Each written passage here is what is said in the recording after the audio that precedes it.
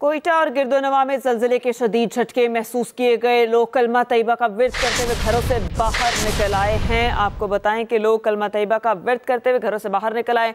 शहर और गिरदोनवा में जलजिले के झटके महसूस किए गए। इस पर तफसीत जान लेते हैं नुमान अफजल से। जी नुमान, बताइएगा किस शिद्दत का जलजिला था? क्या खुदा खास्ता कोई नुकसान भी हुआ? बिल्कुल। अब से कुछ देर कोटा शहर में शदीद जलजिले के झटके महसूस किए गए हैं, जिसमें जो शहरी आवाम जो है खौफ रात से घरों से बाहर निकल आए उन्होंने कल में का शुरू किया गया मरकज वाले उन्होंने जो शिदत रिकॉर्ड की है, वो चार इशारिया, छह शिदत रिकॉर्ड की है, और उसका मरकज जो है, अठानवे किलोमीटर पूर्व हिंद कश था। जबकि जो शहरी हैं कल में, जो कलमा की बेस करते हुए रोडों पर मौजूद हैं, जी। सही अच्छा नुमान, ये भी बताएगा कि कोयटा के अलावा भी किन इलाकों में जलजिले के झटके महसूस किए गए? जी नहीं बिल्कुल ये कोयटा शहर है शहर दरमियान में जजर जाके महसूस की गई है। अभी तक जो है ज़रिए जामिया कोई अपडेट नहीं मिली है।